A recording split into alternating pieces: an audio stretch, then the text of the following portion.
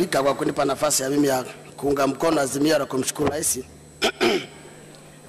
Mheshimiwa Spika, mimi nataka nizungumze mambo kama matatu hivi. Swala la kwanza nitaka kuona hizo kauli ambazo watu wanasema rais amesema korona imeisha. Mheshimiwa Spika, tamko la rais ambalo mimi nimelisikia na anavyoendelea kuliongelea ni kwamba tumshukuru Mwenyezi Mungu kwa kutuepisha na maafa yaliyotarajiwa. Tunamshukuru Mwenyezi Mungu kwa kutuepusha na maafa yaliyotarajiwa, kwamba huku tulikokuwa tunakwenda walikuwa wanasema kwamba huku Tanzania watu watakufa kama nzige. Mpaka leo tuko jambo la kawaida. Mheshimiwa Rais anajua korona ipo, ndio maana tumefungua shule vyuo kwa nusu nusu, shule za msingi hazijafunguliwa anasema tunacheki hali inavyoendelea. Hali ikiendelea kuwa vizuri, tunaendelea kufanya ku- ku- kufungua shule za msingi. Tunajua korona ipo, ndio maana tunaambiwa tuendelee kufanya yale ambayo yanastahili, lakini ukweli ni kwamba korona ni ugonjwa, utakuwepo na utaendelea kuwepo.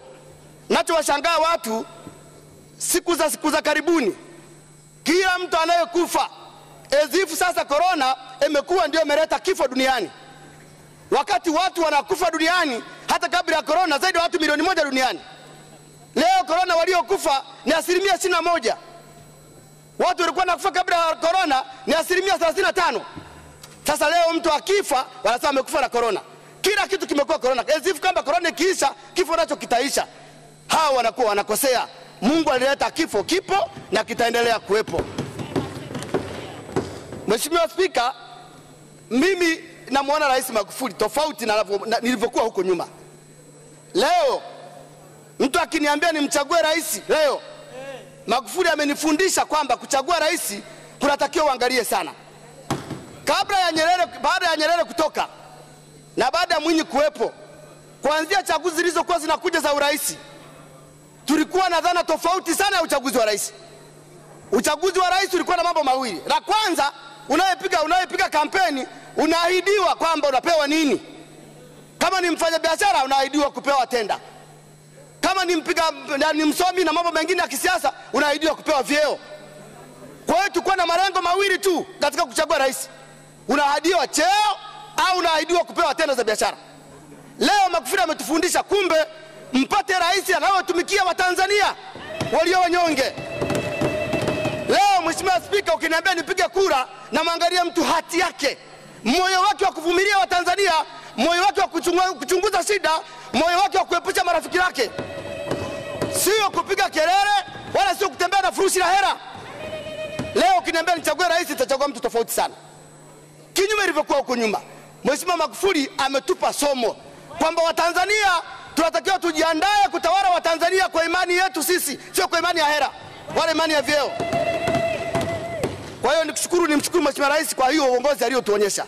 Niombe Tanzania tusiige mambo ya kulipiza visasi, tusirudishe madereva wa nchi zingine, tusiwanyanyase watu wa nchi zingine. Mungu ametusaidia sisi, hawa wanao tunaotuebisha huku nyuma watakuja tu, hawana mahali pa kwenda.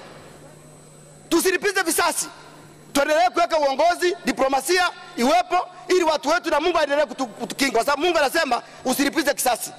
Omba, tuwaombee wale ambao wanatufanyia fujo, watarudi kwenye nafasi yetu. Mheshimiwa Spika, na wewe nikushukuru. Unajua haya mambo kwa kweli, bila kuwa na wewe msimamo hapo, bila kuwa na msimamo dhabiti, vifo vilivyotokea hapa ghafla ghafla hapa humu ndani, watu walikuwa kuja, hata mimi nilikuwa nafika hapa, nilikuwa naona watu wana, wana sanitizer zile makopo makubwa makubwa, anapiga sanitizer mpaka ndani na josho natoka. Hali ilikuwa ngumu. Bila kuwepo wewe hapo, simame ututulize humu ndani, tungekimbia. Bila tutulize humu ndani, tungekimbia. Hata kama rais angesema tuendelee, watu wangekimbia. Tunakushukuru wewe sana kwa msimamo yako, hiyo msimamo imefanya tumekuwa humu ndani. Mheshimiwa Spika, unajua kuna jambo lingine mimi naita la kijinga, la kijinga kabisa. Hivi kwa mfano, mimi nitoe mfano hapa Dodoma tulipo, kabla ya corona, General Hospital ilikuwa imejaa watu uende hapa Makole pamejaa, Benjamin Mkapa pamejaa, CDCA pamejaa, vituo vya afya vyote vimejaa, hospitali hapa watu wamejaa. Sasa leo uambie hii Dodoma lockdown, unajua maana yake nini? Lockdown maana yake watu wote wakae ndani, anayeumwa kichwa apige simu, MP ambulance iende, anayeumwa tumbo apige simu ambulance iende, yaani anayetaka kujifungua afuatwe na ambulance. Hivi inakuwaje? Afu picha zinaonyesha sasa, Dodoma yote imejaa corona. Ni mambo ya kijinga kabisa haya. Unafungia watu alafu unatengeneza mpango, mgonjwa yote wewe ndio mfate. Tuna ambulance ngapi? Tuna watu wangapi hospitali? Mheshimiwa Rais ana akili sana, ana akili sana kwa kweli, ana akili sana. Ametufanya kwamba kumbe sasa tunatakiwa kuwa na uwezo wetu wa kufikiri, sio uwezo wa kufikiri kwa ajili ya migongo ya watu. Leo nilikuwa naona watu wengine humu ndani, wa, wa, watu wachungaji kabisa, wengine wa makatikisi kabisa, naona ndani. Nimeona watu ndani, hata Lema ni mtu wa dini sana Dema, lakini utaona mwoga wake umekuwa mkubwa, watu wanafuata mambo ya nje. Watu, unajua nchi hii ina mambo ya ajabu sana. Ndio maana katika Mungu alivyotuumba taifa la Tanzania halijawahi kupata rais aliyotoka nje, ambaye wazungu wanasema huyo rais anakuwa. Sisi hatujawahi kufu, sisi tunapata rais kutokana na watu wetu waliozaliwa humu ndani. Sasa hivyo vyama vinavyopanga rais atoke nje aagizwe aje kutawala Tanzania, hiyo haipo, ni ndoto. Hiyo ni ndoto kwa Watanzania. Kwa hiyo Mheshimiwa Rais ametuonyesha nini cha kufanya Watanzania. Amekuwa mvumilivu sana. Ningeshangaa Mheshimiwa Spika usingeleta hilo azimio, ningesema mm, sasa hapo kuna nini? Sasa na wewe kumbe unaona mbali, unatengeneza mianda mikubwa. Na mimi niseme Mheshimiwa Spika, kusema kweli, na wewe natakiwa tukulinde kama mboni. Hakuna haja ya kukuachia wewe na rais, tuwalinde kama mboni, muwepo kwenye taifa hili, mwongoze watu vinginevyo tutakuwa tunaleta waraji tu, na leo tukatae watu wanaotembea na mifuko ya hela kununua urais. Leo tuwakatae wanatafuta kwa nguvu, haipo hiyo.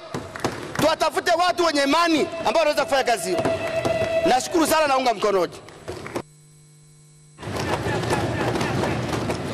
Asante sana Mheshimiwa Mwita Getere kwa mchango wako. Mheshimiwa Najma Giga. Lukani Connections. Wanaopatikana Iringa mjini nyuma ya benki ya CRDB wameamua kuwasogezea huduma zaidi jirani. Lukani Connections wanatoa huduma zifuatazo: printing kwa upande wa picha na video, photocopy, printing card. Kama invitation card, wedding, send off, business cards, lamination na stationaries kwa ujumla. Lakini kubwa kuliko ni mashine ya kuprinti mabango aina zote, kwa mfano banners, roll up banners, wheel covers, stickers na kadhalika. Njoo tukuhudumie kwa bei nafuu kabisa, lakini maelewano pia yapo. Kwa mawasiliano zaidi piga simu namba 0754 32 6645 na 0715 32 6645. Lukani Connections ni baba lao.